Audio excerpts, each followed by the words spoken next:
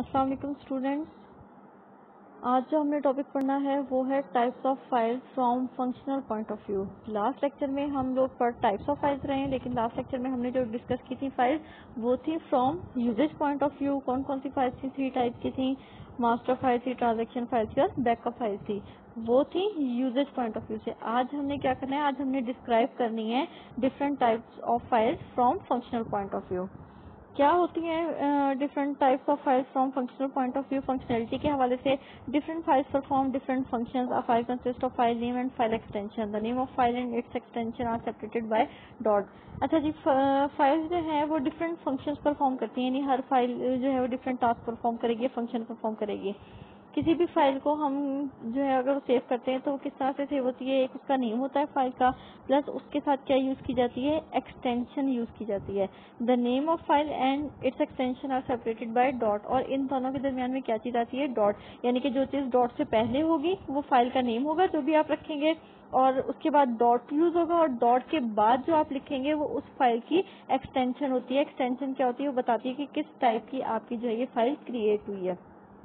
A file can be recognized by its file extension. Different files can have different file extension. अब वो कह रहा है कि फ़ाइल को हम किस तरह से रिकोगनाइज करते हैं कि वो किस टाइप की है उसकी एक्सटेंशन से पता चल, जाता है कि ये किस तरह की फ़ाइल है और डिफरेंट फाइल्स की जो है वो डिफरेंट एक्सटेंशन होती है यानी कि एक ही एक्सटेंशन नहीं होती हर फ़ाइल की जिस सॉफ्टवेयर में आप जिस तरह की एप्लीकेशन या कोई फ़ाइल बनाते हैं उसकी एक्सटेंशन भी फिर उस सॉफ्टवेयर के हिसाब से ही उसको असाइन की जाती है the extension of a file is normally assigned by software in which it is created extension जो है वो कौन असाइन करता है? अभी मैंने पहले भी बात बताई कि सॉफ्टवेयर जो है वो फ़ाइल को एक्सटेंशन जो वो असाइन करता है। जिस सॉफ्टवेयर में आप अपनी फ़ाइल को क्रिएट कर रहे हैं, यानी कि एक्सटेंशन खुद से नहीं हम यूज़ करते, बल्कि जो सॉफ्टवेयर हम यूज़ कर रहे होते हैं, जिसमें हम आपकी फ़ाइल जो है वो क्रिएट कर रहे हैं तो वो सॉफ्टवेयर जो है वो उसके अकॉर्डिंग जो एक्सटेंशन असाइन की जाती है। ओके जी, हमारे पास टू टाइप्स हैं। File from functional point of view से फ़र्स्ट वन है हमारे पास प्रोग्राम फ़ाइल और सेकंड है हमारे पास डेटा फ़ाइल तो सबसे पहले हम डिस्कस करते हैं कि प्रोग्राम फ़ाइल क्या होती है। ये है दोनों फंक्शनल पॉइंट ऑफ़ व्यू से। हमने डिस्क्राइब कर दिया कि फंक्शनल पॉइंट ऑफ़ व्यू से हमारे पास क्या होती हैं? फ़ाइल फ़ाइल में हमारे पास फ़ाइल नेम होता है फ़ाइल की एक्सटेंशन होती है एक्सटेंशन जो है वो सॉफ्टवेयर असाइन करता है। एक्सटेंशन को हम डॉट के बाद लिखते हैं और नेम जो है फ़ाइल उसको हम डॉट से पहले राइट करते हैं। ये थी हमारे पास एक डिस्क्रिप्शन अब टाइप्स की तरफ़ आते हैं तो फ़र्स्ट वन है program file a type of file that contains a set of instructions of program is called program file it is an executable file a program file has the file extension exe और com हमारे पास program file क्या होती है? इन files के अंदर हमारे जो क्या कहते हैं प्रोग्राम है, या सॉफ्टवेयर या प्रोग्राम है, उसका कुछ जो है, उसकी कुछ सेट ऑफ़ इंस्ट्रक्शन को उठा के हम प्रोग्राम फ़ाइल के अंदर सेव कर लेते हैं।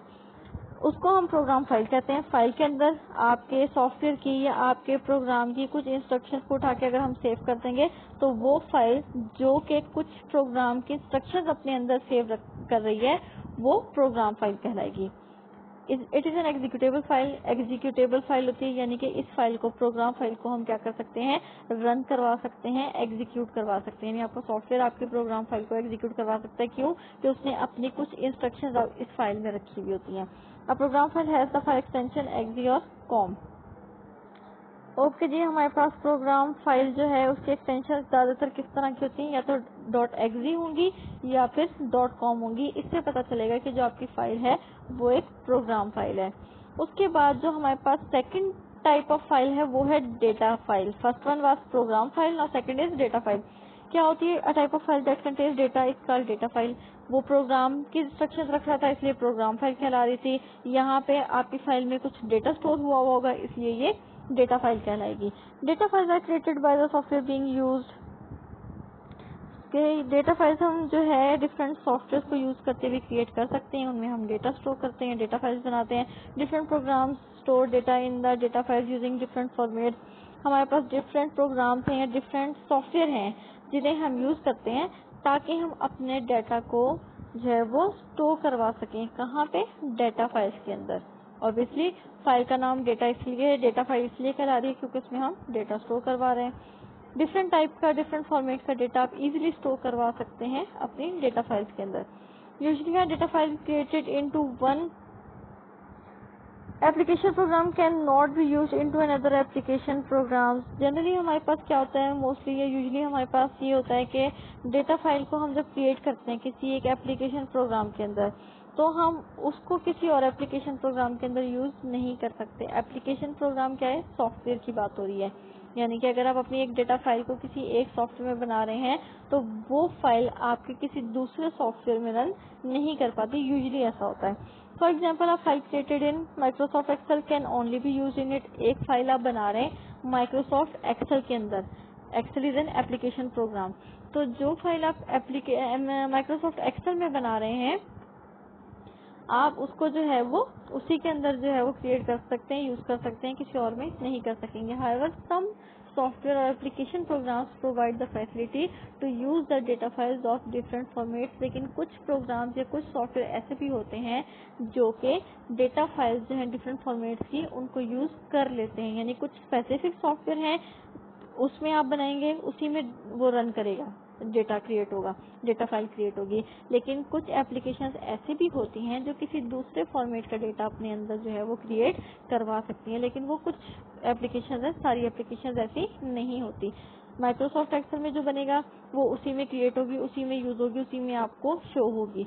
वो किसी और में नहीं होगी, लेकिन कुछ सॉफ्टवेयर ऐसे भी हैं हमारे पास जो कि डिफरेंट फ़ाइल फॉर्मेट को जो है वो सपोर्ट करते हैं। आप किसी भी किस्म का डेटा जो है उसके अंदर जो है वो क्रिएट कर सकते हैं। उसके बाद है data files are generally recognize by the file extension data files का भी किस तरह से पता चलता है, किस तरह से पहचान में आती है, कि किस टाइप की फ़ाइल है, उनकी एक्सटेंशन से पता चलता है। एक्सटेंशन क्या थी, अभी हमने पीछे डिस्कस किया था कि एक्सटेंशन जो है वो सॉफ्टवेयर असाइन करता है फ़ाइल को, कि जिस टाइप का सॉफ्टवेयर होगा अकॉर्डिंगली वो उसकी एक्सटेंशन जो है ना, वैसे ही सेट कर देता है। फॉर एग्ज़ाम्पल किस तरह की एक्सटेंशन यूज़ हो सकती हैं डिफरेंट फ़ाइल फाइल्स के साथ? A file created in M S word has file extension doc D and is known as document file अब जो आपकी फ़ाइल वर्ड में क्रिएट हो रही है एम एस वर्ड में माइक्रोसॉफ्ट वर्ड के बारे में आप लोगों ने शायद सुना हो या जिन बच्चों ने मैट्रिक में पढ़ा होगा कंप्यूटर साइंस वो फेमिलियर होंगे। इससे माइक्रोसॉफ्ट वर्ड क्या है? हमारे पास एक एप्लीकेशन है जिसमें हम क्या करते हैं? डिफरेंट एप्लीकेशन राइट करनी होती है लेटर इस तरह की जितनी भी चीज़ें हैं, हम उसमें इजीली टाइप कर सकते हैं।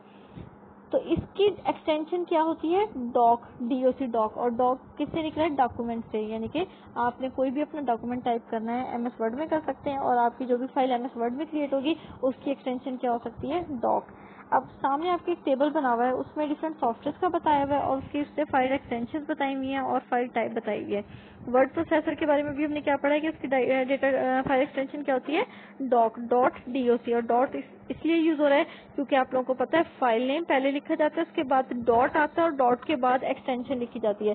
तो एक्सटेंशन से पहले हमेशा डॉट आना मस्ट है।